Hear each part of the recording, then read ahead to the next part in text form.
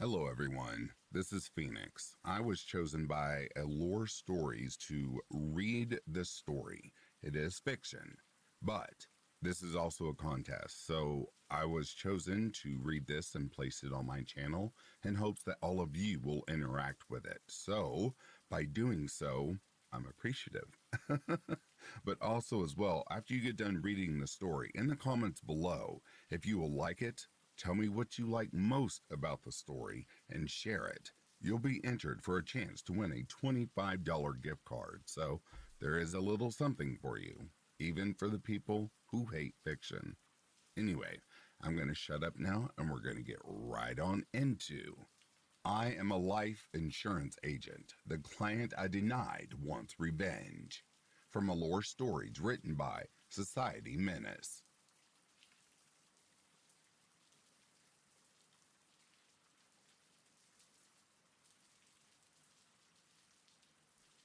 The fluorescent lights buzzed overhead as I shuffled through the stack of applications on my desk. Another day, another pile of desperate people hoping to secure some fragment of security in an uncertain world. I've been working at Everlast Life Insurance for over a decade, and the faces all blurred together after a while. Young families, middle aged divorcees, elderly folks grasping at one last chance to leave something behind. I had seen it all. Or so I thought. It was late on a Friday afternoon when this file crossed my desk. Most of the coworkers had already left for the weekend, their vacant cubicles forming a maze of shadows in the dimming office. I should have been out of the door myself, but something made me pause as I reached for my coat. Maybe it was the worn edges of the manila folder or the faded photograph paperclip to the front. Whatever it was, I found myself sinking back into my chair, flipping open the file of one Mr. Ezekiel Thorne. The photo showed a withered old man, his skin like crumpled parchment, stretched over sharp bones. But it was his eyes that gave me pause. Pale blue and piercing. They seemed to stare right through the camera and into my soul. I shivered involuntarily and turned to the application itself. Ezekiel Thorne, age 92, no living relatives, former occupation, mortician, current address 13 Ravens Lane. As I scanned his medical history, my eyebrows crept steadily higher. This man should have been dead 10 times over. Heart attacks, cancer, strokes, He'd survived it all. And now, here he was, at the ripe old age of 92, applying for a substantial life insurance policy. All I'll admit, a small part of me was impressed. The old codger had beaten the odds time and time again. But the larger part, the part that had kept me employed at Everlast all these years, saw only dollar signs and risk. There was no way the company would approve this. The potential payout far outweighed any premiums he could reasonably charge. With a sigh, I reached for the large red denied stamp. It was just business after all, nothing personal. As the stamp came down with a dull thud, a chill ran down my spine. For a split second, I could have sworn I saw those pale blue eyes staring at me from the shadows of my cubicle. I whipped around, heart pounding, but there was nothing there. Just the empty office and the ever present hum of the fluorescent lights. Get it together, I told myself. You're working too late. Time to go home. I hurriedly shoved Mr. Thorne's file into the outgoing mail and grabbed my coat. As I rushed out of the office, I couldn't shake the feeling that someone, or something, was watching me.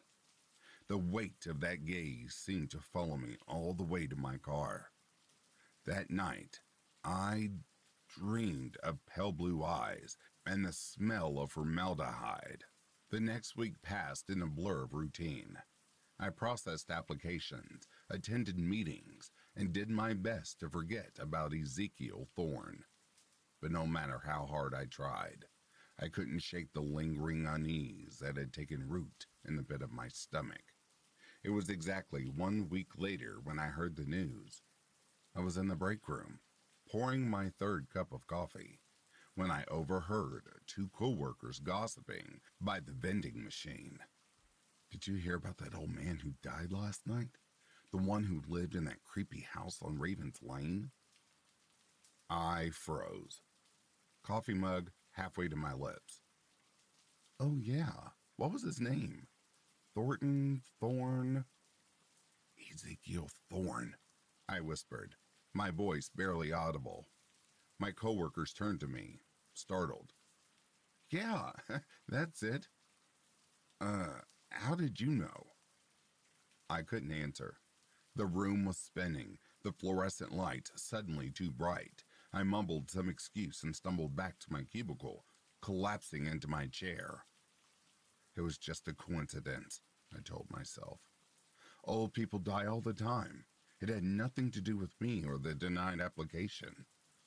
But as I sat there, trying to calm my racing heart, I couldn't help but remember those piercing blue eyes, and I could have sworn I caught a whiff of formaldehyde drifting through the recycled office air. That night, I tossed and turned, unable to sleep. Every time I closed my eyes, I saw Mr. Thorne's wrinkled face, his eyes accusing and full of malice. When I finally drifted off into the early hours of the morning, my dreams were haunted by the sound of a pen scratching endlessly across paper, filling out an application that would never be approved. I awoke with a start, drenched in sweat. As my eyes adjusted to the darkness, I realized with growing horror that the scratching sound hadn't stopped. It was coming from just outside my bedroom door. Trembling, I reached for the bedside lamp as light flooded the room, the scratching abruptly ceased. I held my breath, straining to hear any movement in the hallway beyond. For a long moment, there was only silence.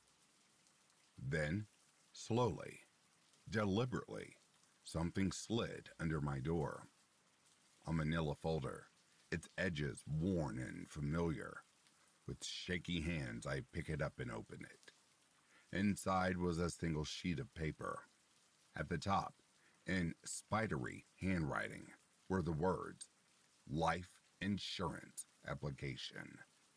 The rest of the page was blank, save for two words stamped in red at the bottom Claim Denied. I let out a strangled cry and threw the folder across the room. This couldn't be happening. It was a bad dream, a, a hallucination brought on by stress and lack of sleep. I squeezed my eyes shut, willing myself to wake up. When I opened them again, when I opened them again, the folder was gone, but the faint smell of formaldehyde lingered in the air, and I knew with sickening certainty that this was only the beginning. The next morning, I called in sick to work. I couldn't face that office. Couldn't bear to look at another life insurance application. I spent the day huddled in my apartment, jumping at every creak and shadow. By nightfall, I had almost convinced myself that it had all been in my imagination. Almost. As darkness fell, I found myself drawn to my computer. With trembling fingers, I typed Ezekiel Thorne into the search bar. What I found chilled me to the bone. The first result was an obituary, dated just two days ago. But it wasn't the date that caught my attention. It was the photo. The man in the picture was undoubtedly Ezekiel Thorne, but he looked wrong. His skin was waxy his posture too stiff, and his eyes, those pale blue eyes that had haunted my dreams, were open and staring directly at the camera. I slammed my laptop shut, my heart pounding. That couldn't be right. No funeral home would publish a photo like that. Would they? A soft thud from the hallway made me jump.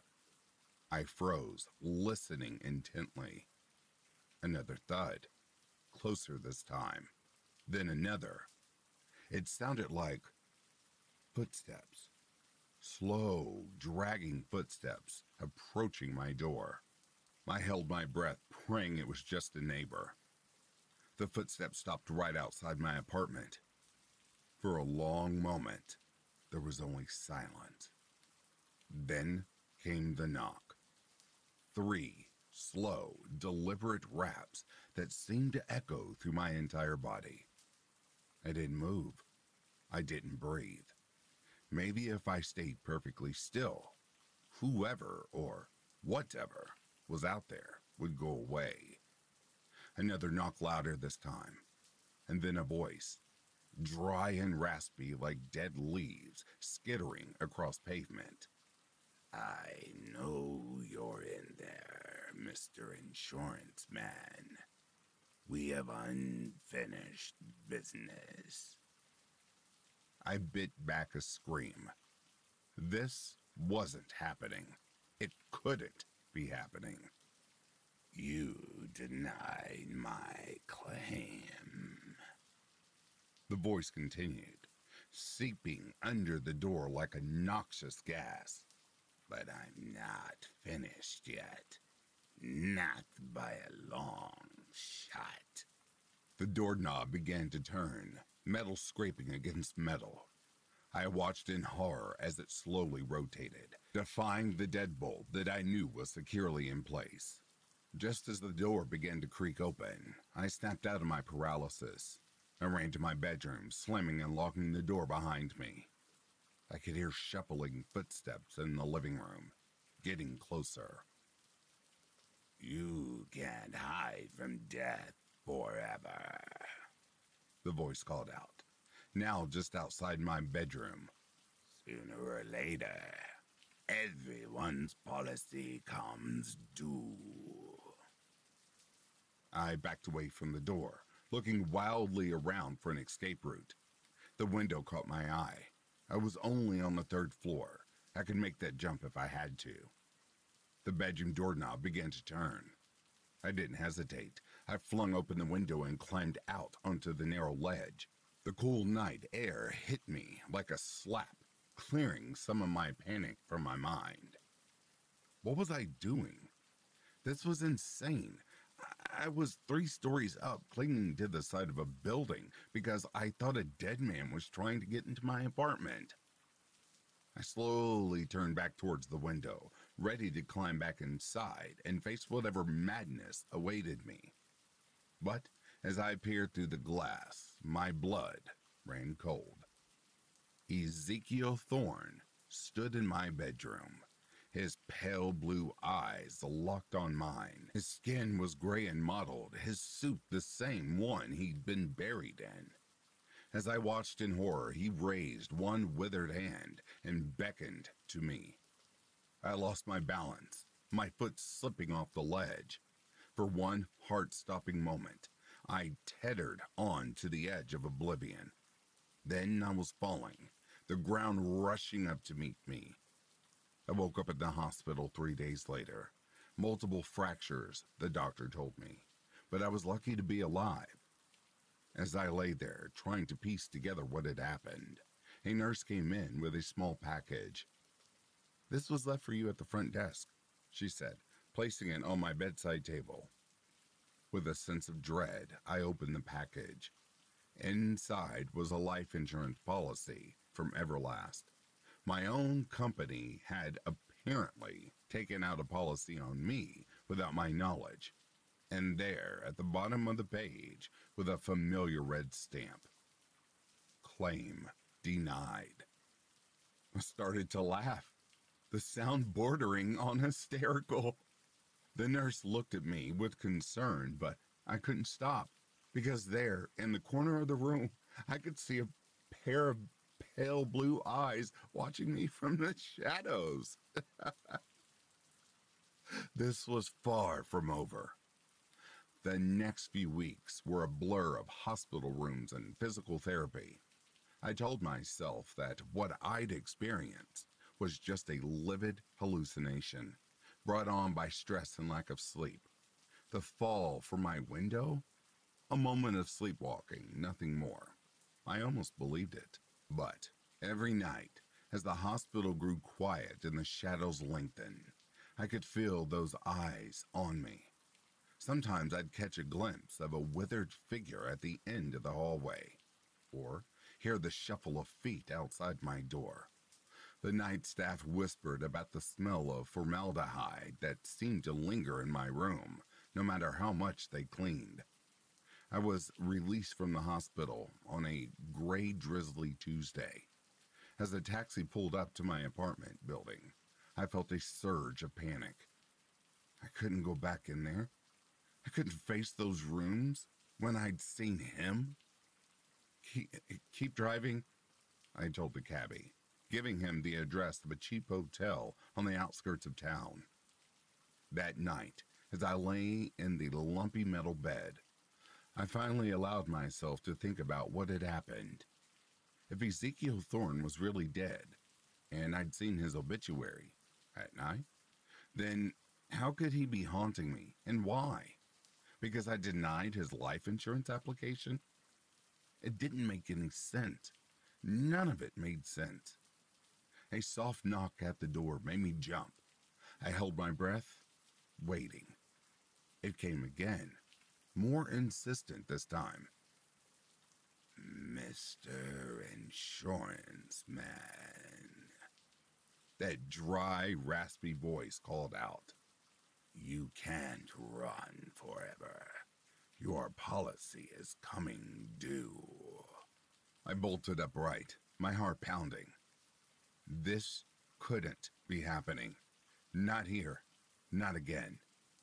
The doorknob began to turn. I scrambled out of bed, looking frantically for an escape route. The bathroom window was small, but I was desperate enough to try squeezing through it. As I rushed toward the bathroom, the motel door creaked open behind me. The smell hit me first, a nauseating mixture of formaldehyde and decay. I slammed the bathroom door shut and locked it, my hands shaking so badly I could barely manage the simple task. The shuffling footsteps grew closer, now, now. Ezekiel's voice rasped just outside the bathroom door. Is that any way to treat a client? We have a policy to discuss. I turned on the faucet full blast, hoping to drown out his words. But somehow, his voice cut through the rush of water, clear as a bell, you denied me in life, Mr. Insurance Man. But death?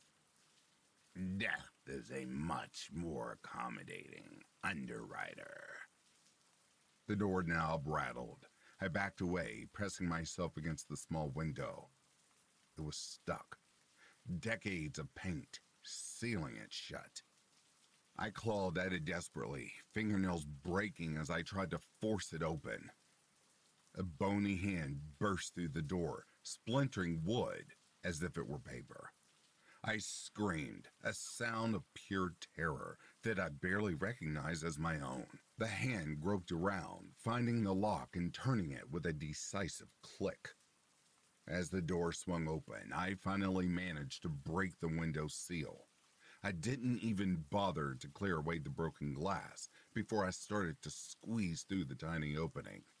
Shards sliced into my skin, but I barely felt the pain. All I could focus on was escape. I tumbled out onto the wet pavement of the motel's back alley, the rain soaking me instantly. I scrambled to my feet and ran, not daring to look back. I ran until my lungs burned and my legs threatened to give out, finally collapsing in a park several miles away as I sat there gasping for breath and shivering in the cold rain. I tried to make sense of what was happening. This couldn't go on. I couldn't keep running forever. There had to be a way to end this, to appease the spirit of Ezekiel Thorne. What a sudden clarity. I knew what I had to do. The next morning, I dragged myself into the Everlast Life Insurance office. My colleagues stared as I limped past, clothes torn and stained, face gaunt with exhaustion and fear. I ignored them all, making my way straight to the records room. It took me hours of searching, but I finally found what I was looking for. Ezekiel Thorne's original application. With shaking hands, I pulled out a pen and changed the denied stamp to approved. I filled out the necessary paperwork, backdating it before his death. As I signed the final form, I felt a chill run down my spine. Slowly, I turned around. Ezekiel Thorne stood there, a grotesque smile stretching his decayed features. Well done, Mr. Insurance Man, he wheezed. But I'm afraid it's too late for that. I blinked, and suddenly I was back in my apartment, sitting at my desk. The insurance papers were gone. In their place was a single document my own death certificate, dated today. You see, Ezekiel's voice whispered in my ear, Your policy came due the moment you denied mine. Everything since then, just a grace period. I felt a bony hand on my shoulder, and the world began to fade away. I woke up screaming, tangled in sweat soaked sheets. My heart was racing, and for a moment, I couldn't remember where I was. As reality slowly seeped back in, I realized I was in my own bed in my own apartment. It had all been a nightmare. A vivid, terrifying nightmare, but a nightmare nonetheless. Relief washed over me, followed quickly by embarrassment. How could I have let a simple insurance application affect me so deeply? I glanced at the clock. 3:07 a.m. What a relief. I got up to get a glass of water, hoping it would calm my nerves. As I padded to the kitchen, a floorboard creaked behind me. I froze, a chill running down my spine. Slowly, I turned around. The hallway was empty, shadows stretching into the dim light. I let out a shaky laugh. Get a grip, I told myself. It was just a dream. I turned back towards the kitchen and found myself face to face with Ezekiel Thorne. His pale blue eyes bore into mine, his withered face inches from my own. The smell of formaldehyde was overwhelming. Sweet dreams, Mr. Insurance Man, he rasped. And then, with a bony finger, he reached out and tapped me on the forehead.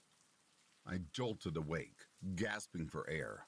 My bedroom was dark and quiet. No sign of any undead visitors. Just another nightmare. But as I reached up to wipe the sweat from my brow, my blood ran cold.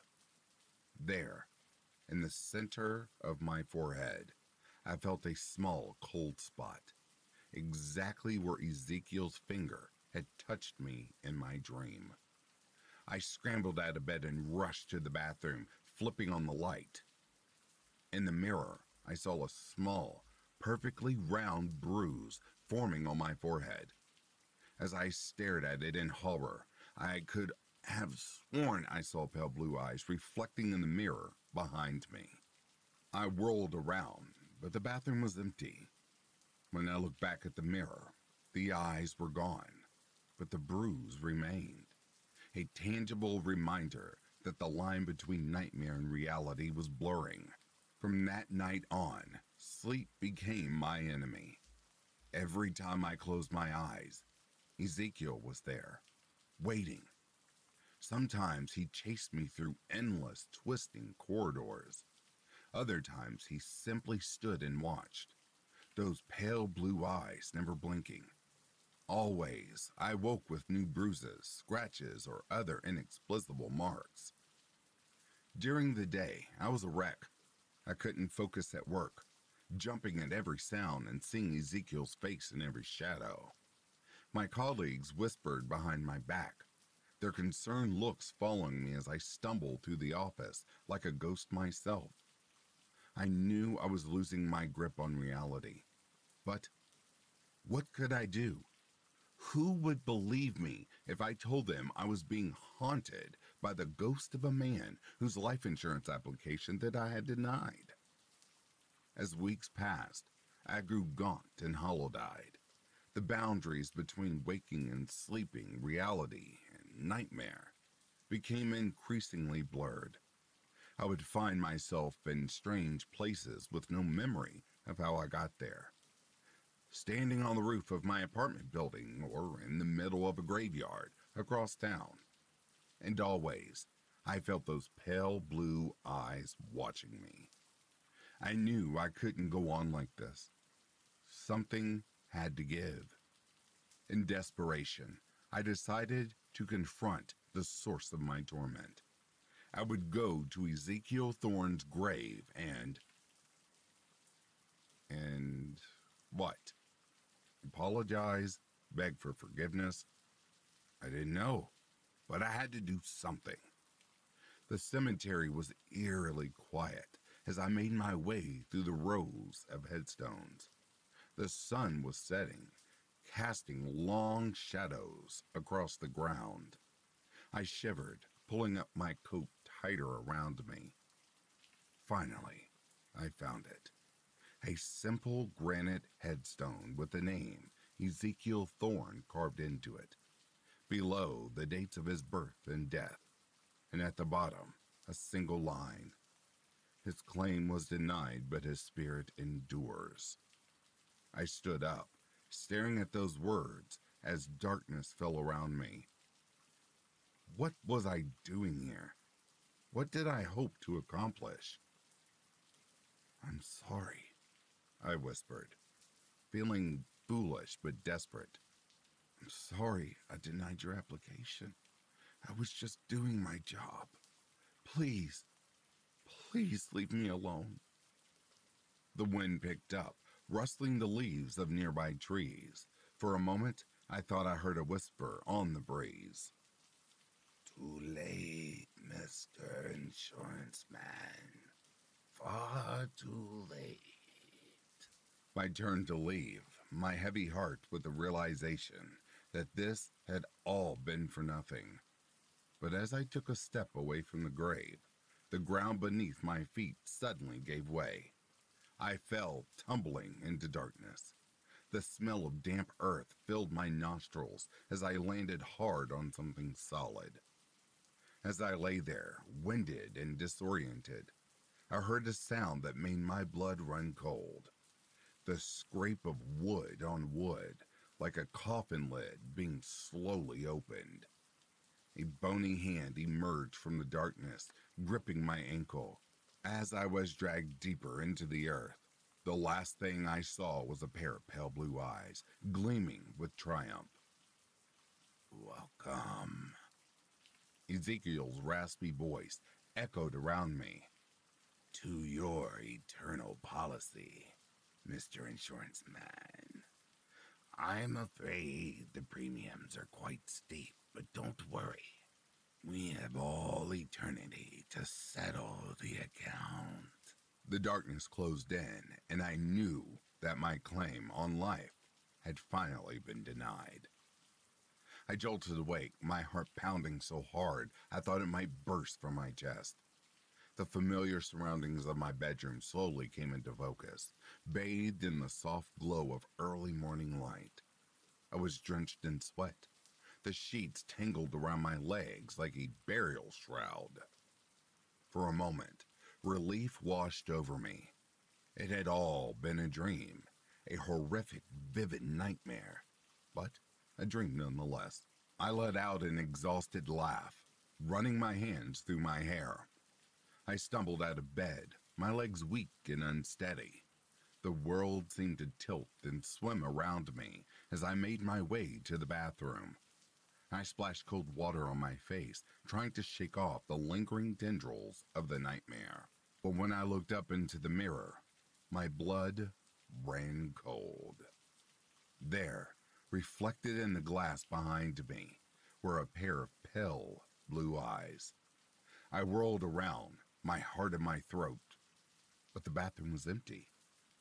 When I turned back to the mirror, the eyes were gone once again. I called in sick to work that day, unable to face the thought of dealing with more insurance claims.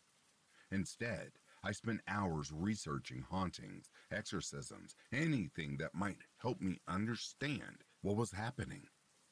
But the more I read, the more hopeless I felt. How could I fight something that shouldn't even exist? As night fell, I found myself dreading sleep. Every time I closed my eyes, I saw Ezekiel's withered face, those pale blue eyes boring into my soul. I tried everything to stay awake coffee, energy drinks, even slapping myself across the face. But eventually, exhaustion won out and I drifted off into an uneasy slumber. The dream started, as it always did. I was back in the Everlast office, Ezekiel's file open on my desk. But this time, as I reached for the denied stamp, I hesitated. What if I approved it? Would that end this nightmare? With a trembling hand, I picked up the approved stamp instead. As it came down on the paper, I felt a rush of relief. Maybe now it could be over. But as I looked up, Ezekiel was there, his decaying face inches from mine. Too late, Mr. Insurance Man, he rasped. Your policy has already been cashed in. I woke up screaming, thrashing against the sheets. As I fought to catch my breath, I realized something was different. The room smelled wrong, like formaldehyde and decay. Slowly, I turned my head towards the bedroom door. It was open, and standing in the hallway was a figure I had hoped never to see in the waking world. Ezekiel Thorne shuffled into the room, his movements stiff and unnatural. In the dim light, I could see the waxy sheen of his skin, the sunken hollows of his cheeks. But it was his eyes that held me paralyzed. Those pale blue orbs, now cloudy with death, but still piercing in their intensity. Did you really think it would be that easy? He wheezed, his voice like dry leaves scattering across pavement. That you could simply just stamp approved and wash your hands of me. Here.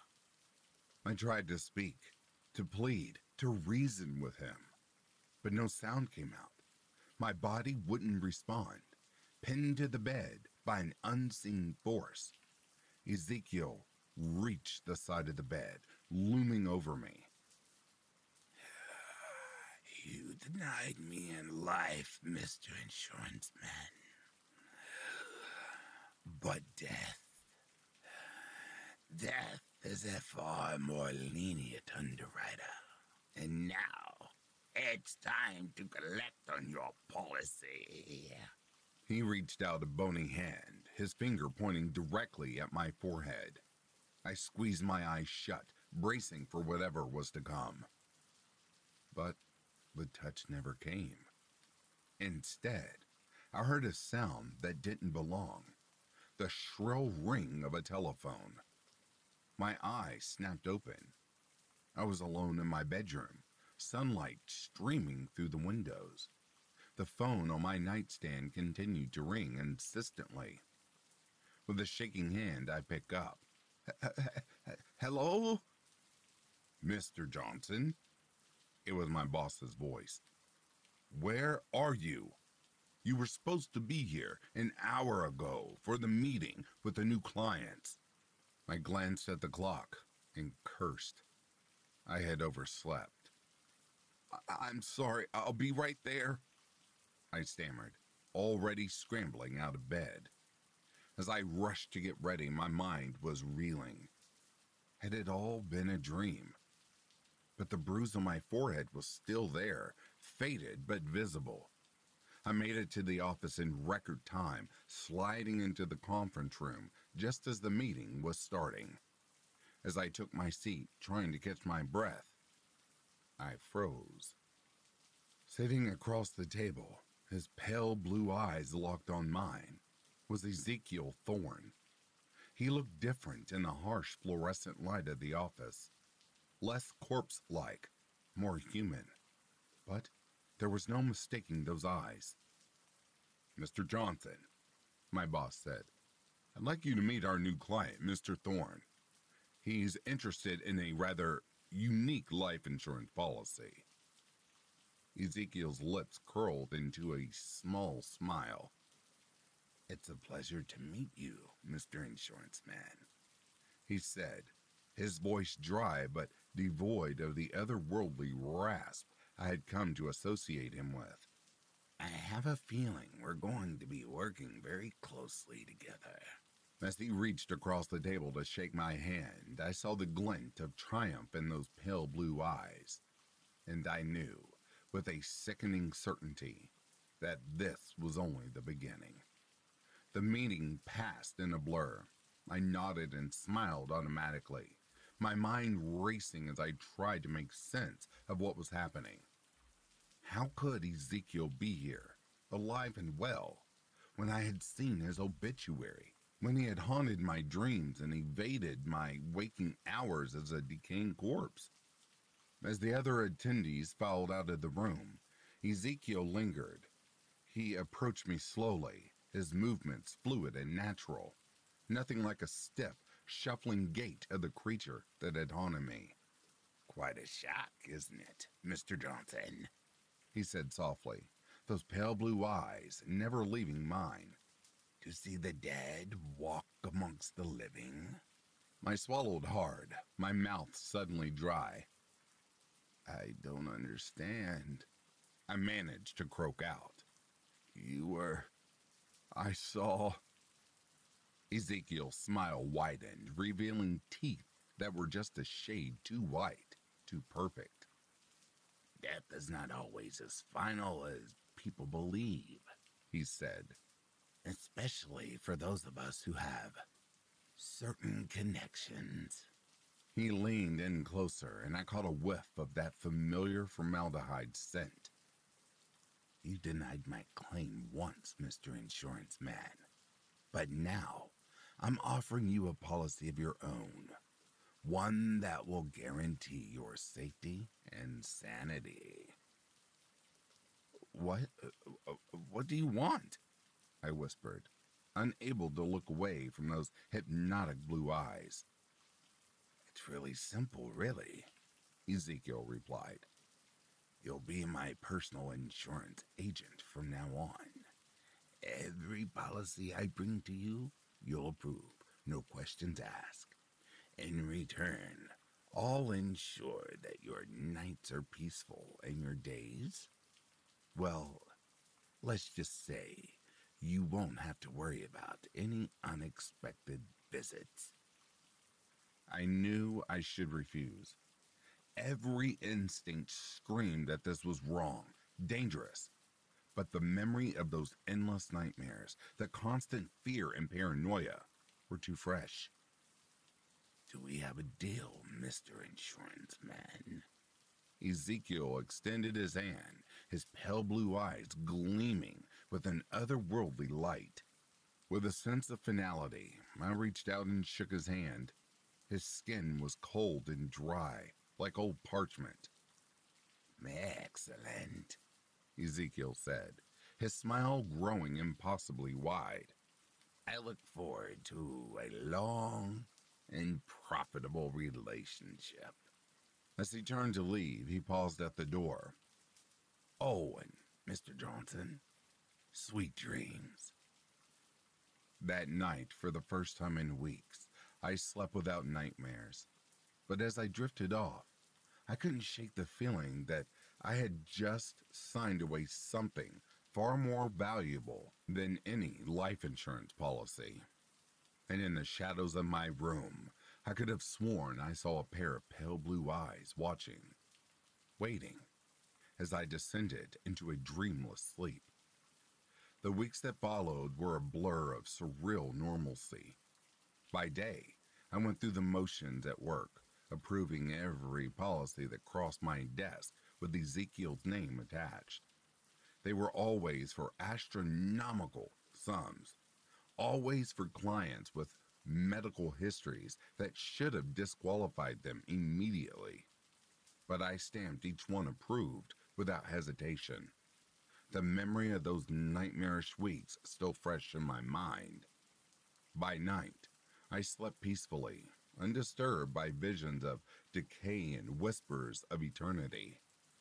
But the price of this tranquility weighed heavily on my conscience. As the months went on, I began to notice changes in myself. My reflection in the mirror looked older, somehow, gaunt, there were streaks of gray in my hair that hadn't been there before. It was as if Ezekiel was slowly draining the life from me, one approved policy at a time.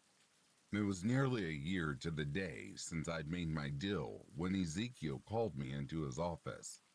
Yes, he had an office now, a corner suite with a view of the city. As I entered, I noticed the smell of formaldehyde was stronger than ever. Ah, Mr. Johnson, he said, those pale blue eyes gleaming. I have a special policy for you today. One I think you'll find particularly interesting. He slid a folder across the desk. With trembling hands, I opened it. Inside was a life insurance application. My life insurance application. As the meaning of his words sank in, I felt a chill run down my spine.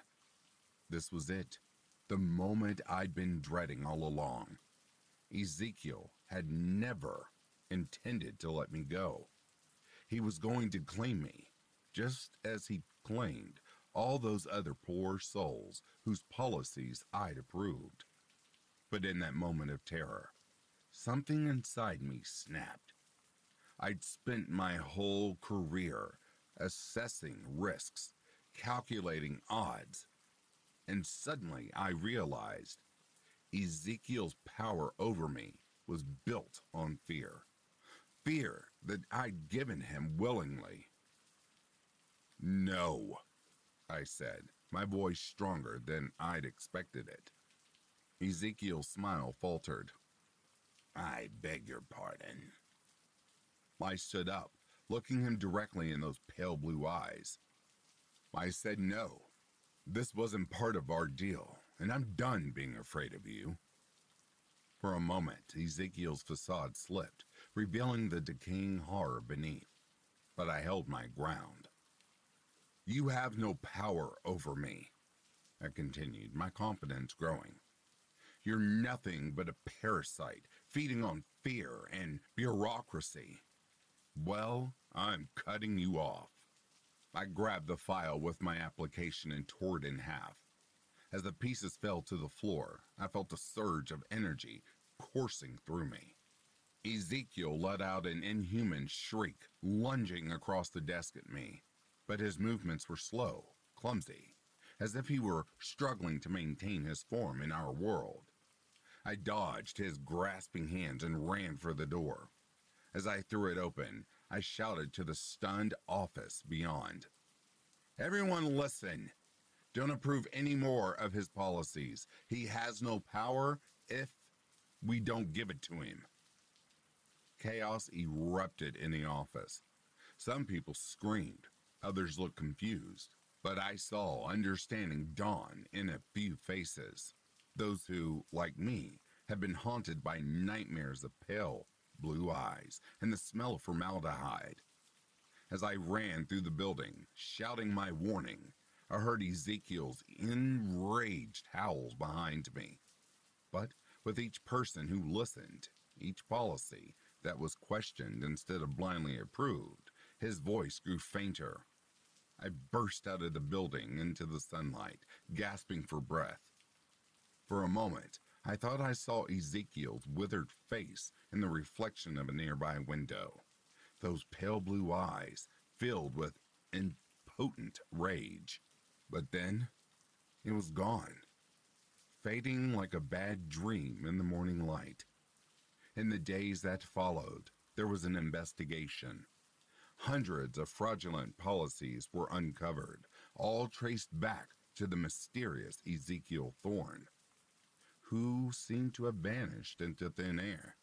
The company underwent a major overhaul with a new emphasis on ethical practices and thorough vetting. As for me, I slept peacefully for the first time in what felt like years. The nightmares were gone, banishing along with the specter of Ezekiel Thorne. I'd learned my valuable lesson about the power of facing your fears and the importance of reading the fine print. Sometimes, on dark nights, I think I catch a whiff of formaldehyde or see a flash of pale blue eyes in the shadows. But I'm not afraid anymore. After all, I know the truth now. No ghost, no matter how malevolent or cunning, can stand against the power of human will and a properly denied insurance claim.